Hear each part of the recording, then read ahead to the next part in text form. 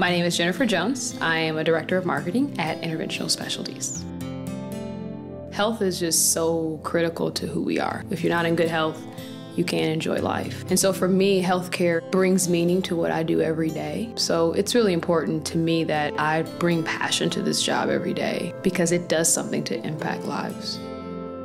It's easy for me to say why I work in healthcare, but then there's a variety of companies that I could work for. And I stay here because I enjoy the time with my team. It's like another extension of my family. And it's not like we just come here every day and do whatever we need to do for ourselves, but we come together every day to be a team and to develop these products or provide something to a patient that impacts their life.